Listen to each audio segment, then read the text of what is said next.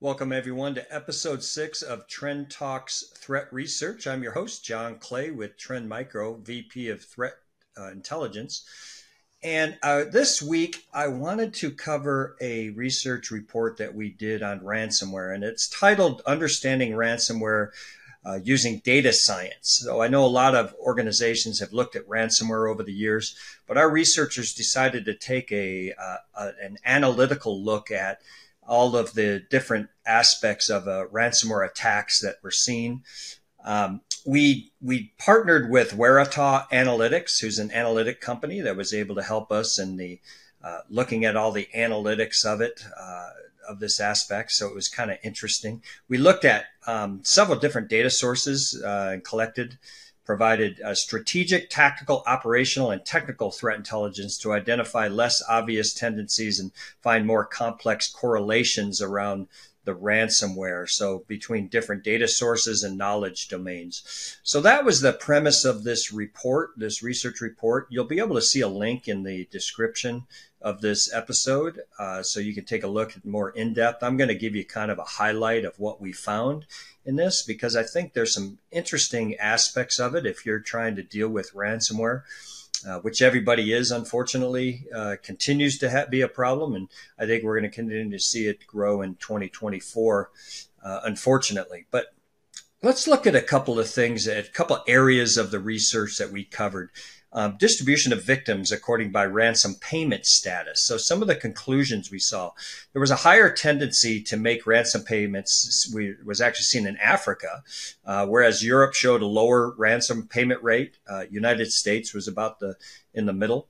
Um, victims with large number of employees tended to show lower ransom payment rates, which is interesting because, and maybe that's because uh, larger organizations have a little more um, sophistication around being able to uh, negotiate ransoms down. I know we did a research report a number of years ago where we actually looked at ransom payments between the uh, uh, discussions between the victims and the ransom act where actors.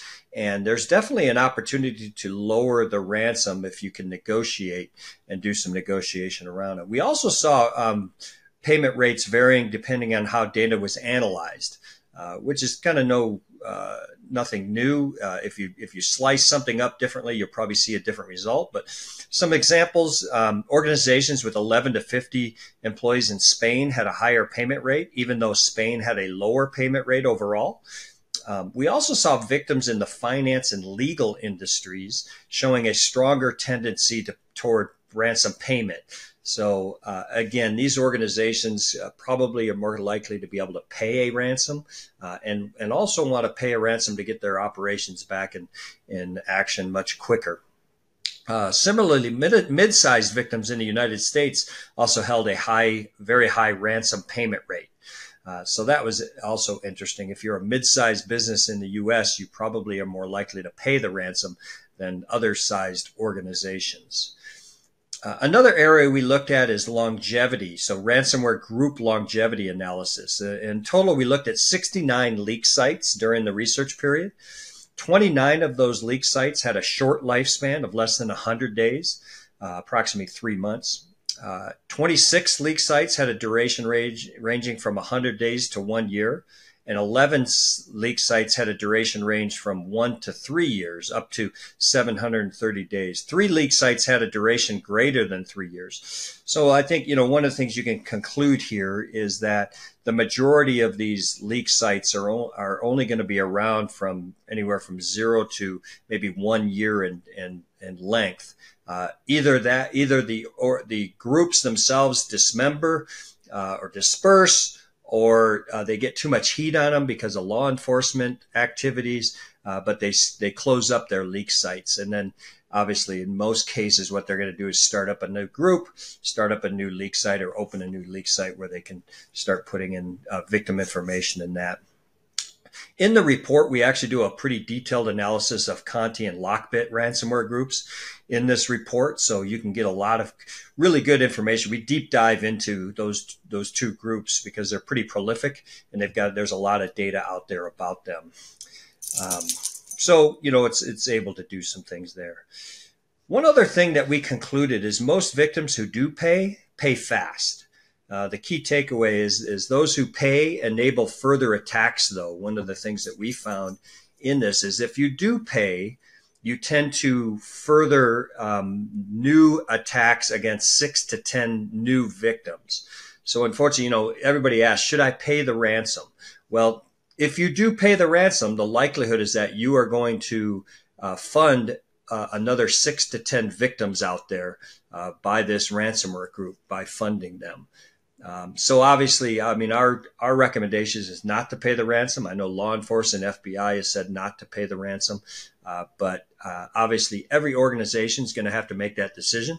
As part of your incident response plan, I would definitely recommend that you have that answered, that question answered. Will you pay the ransom if this hits us and affects our operations, affects our organization? So, you know, make sure you have, um, whether it's your, your, um, executives or your board, if you're a public organization, you want to make sure that you know upfront very quickly, will I pay that ransom or not? So make that decision before it happens. Some other aspects of it, uh, business operation costs of cyber criminal groups depend on their business model. So knowing how ransomware groups operate under this business model sends important messages for defenders.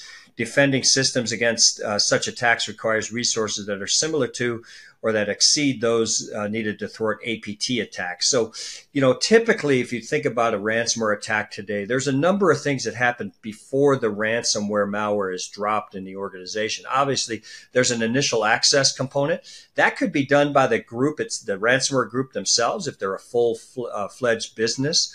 Uh, but in many cases, it may be a, an a, uh, initial access broker who gets access to a network and then and then sells that access to another to the ransomware group themselves.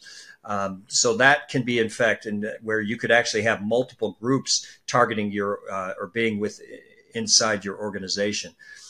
Um, also, in most instances today, there's going to be a data exfiltration component stage before the ransomware is dropped. So they will initially access your organization. They'll do some network scanning to, to scan and map out your, your internal network, um, trying to find data, trying to find what systems you have there, what accounts you have. They'll escalate privilege into a lot of the administrative accounts, um, and then they will steal data. Um, sometimes they may steal very specific data if they have found it, but in a lot of cases, they may just upload as much data as they can possibly do, vacuum it up. And then uh, later, at a later stage, they may then go through that data to find out other ways to monetize that data. But uh, then they will drop the ransomware. And, and again, this this process could be anywhere from a, a, a day or two to weeks or months, depending on what they are doing inside your network. But obviously, when it when the ransomware hits, you're going to get that pop up screen that says, "Hey, you need you got you've got ransomware, and contact us to negotiate the ransom." At that point, you definitely know you have an adversary within your organization, now you have to take the steps of what did they do? How did they get in? All of that stuff has to be determined. Your incident response plan is then fully operational and is, is taking the um, going ahead of uh, going ahead and, and trying to mitigate the, the, the amount of damage done by these actors. So, so again, these attacks are going to be very similar to what we see in APT attacks um, and uh, by these more sophisticated adversaries. Another breakdown of software uh, vendors exploited by the top five ransomware groups. One, Microsoft was about almost 50% um, were um, exploiting Microsoft vulnerabilities. Uh, 7.5% were QNAP.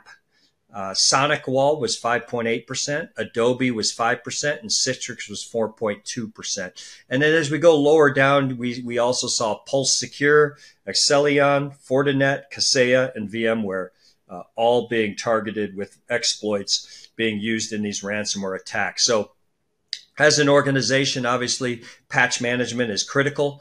Uh, virtual patching works very well if you don't, if you can't patch very quickly. Uh, a virtual patch can take the time off you to to deal with um, the full patch.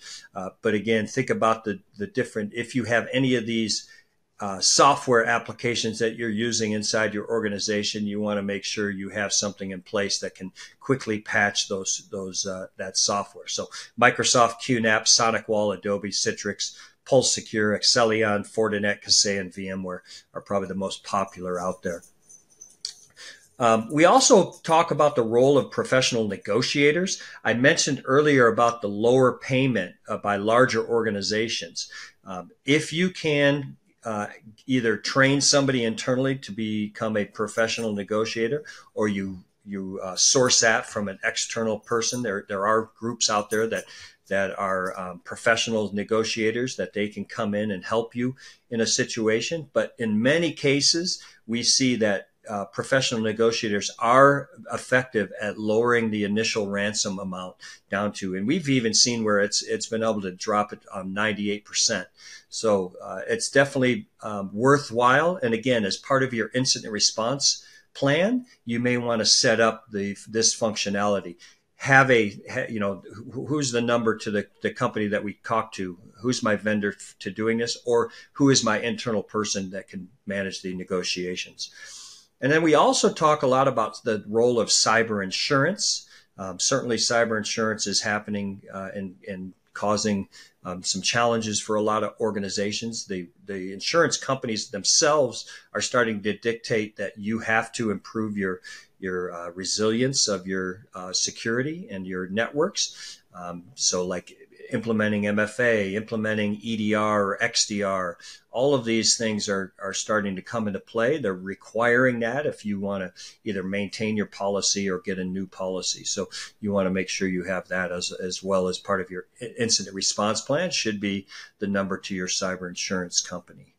All of that and more is part of this research report. So I thought I'd highlight that in this version of episode six of Trend Talks Threat Research. Hopefully, I gave you some good insights and maybe piqued your interest. So again, click on the link and you'll be able to re-download the full report. It's quite detailed. I only went through the kind of the highlights, but uh, certainly it's a very good talk, uh, discussion, and research that can maybe help you understand the ransomware uh, business more more uh, better than than you have in the past. So hope this was good.